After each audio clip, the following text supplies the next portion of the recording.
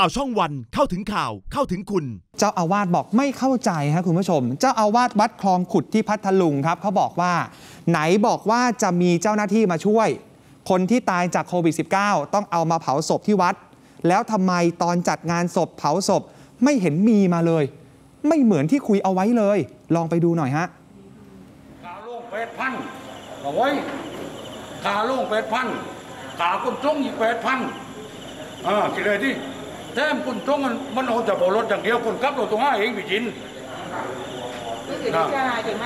ตีมันได้ช้านะครับ ผมยังไม่ได้รับรายงานเลย เนี่ยตำบลตะโนดด้วนเนี่ยเขาเพิ่งรายงานมา นี่เออพอเราอีไปจนผู้ว่ามันหวานอย่าไปไอ้นู่นก็หวานอย่าไปไอ้นี่หวานอย่าไปมันอยู่วันนี้เออที่เห็นอยู่นี่คือพระอธิการจรัญชาตะสะโผนะฮะ ก็เป็นเลขานุการเจ้าคณะอำเภอเขาชัยสนที่ จังหวัดพัทลุงอำเภอเขาชัยสน ต้องใช้คำว่าท่านฉุนเลยอะจอย ฉุนจัดเลยครับ จัดงานศพให้คนที่ติดโควิด แล้วก็เสียชีวิต รายที่ 3 ของจังหวัดพัทลุง เป็นผู้ชายอายุ 64 ปี ไม่พอใจว่าไหนหน่วยงานภาครัฐในพื้นที่บอกว่าจะมาช่วย ไม่เห็นมากันเลยอะ อืมคือไม่เป็นไปตามที่ตกลง คุณผู้ชมปกติแล้วที่เราเคยเล่าให้ฟังเนาะ ผู้ที่เสียชีวิตจากโควิด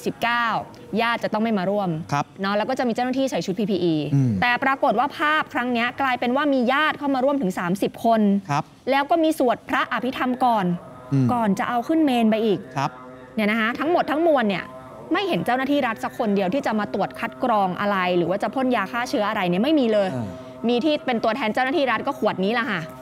ฮะเจลแอลกอฮอล์ตั้งเอาไว้แค่ขวดเดียวที่เอามาให้ เนี่ยเหรอคือการคัดกรองเออ นี่เหรอคือการช่วยดูแลใช่ไหมฮะที่ค่ะทางเจ้าอาวาสตั้งคำถาม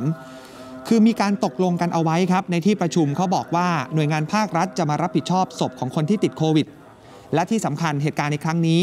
ญาติจะต้องเสียค่าหีบศพ ค่าขนส่งศพหมื่นหกแล้วไหนที่ประชุมคุยกันไว้ว่าจะรับผิดชอบค่าใช้จ่ายส่วนนี้ทำให้การเอาศพออกมาจากโรงพยาบาลก็ช้านะฮะคือเขาเสียชีวิตตั้งแต่ประมาณสักบ่ายโมง40 กว่าจะเอาศพมาที่วัดได้คือสองทุ่มครึ่งอืมเจ้าอาวาสก็เลยเกิดคำถาม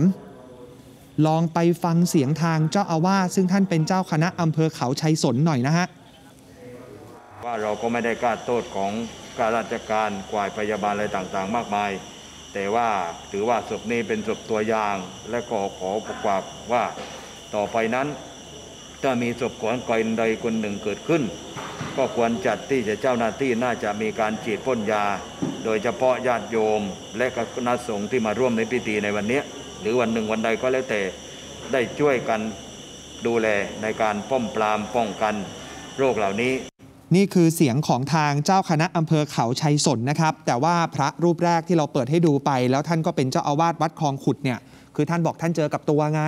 ไหนบอกจะมีเจ้าหน้าที่มาช่วยไม่เห็นมีเลย พอไปเรียนกับทางเจ้าคณะอำเภอเขาชัยสน พระครูอุดม สุวรรณสถิต ท่านก็ชี้แจงสอดคล้องกันบอกว่าที่ประชุมคุยกันเอาไว้ว่าถ้ามีคนตายจากโควิด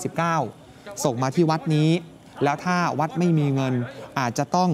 จัดหาเงินสำรองไปก่อนอย้ำว่าจะต้องมีทางเจ้าหน้าที่จากสาธารณสุข อาสาสมัครมาช่วยกันคัดกรองด้วย มาช่วยกันดูแลด้วย ไม่ใช่ว่าจะปล่อยให้เป็นหน้าที่ของทางพระอย่างเดียวเออแล้วพอมันแพร่ระบาดขึ้นมาทำยังไงอะคะครับนี่ก็ลำบากกลับไปที่หน่วยงานตัวเองอยู่ดีอะนะใช่สวัสดีครับ ผมจัดทีมะ อย่าลืมกดไลค์ กดแชร์ กด subscribe YouTube ข่าวช่องวัน จะได้ไม่พลาดทันข่าวทันทุกเหตุการณ์ เปิดเผยทุกความจริง จากทีมข่าวช่องวัน เข้าถึงข่าว เข้าถึงคุณ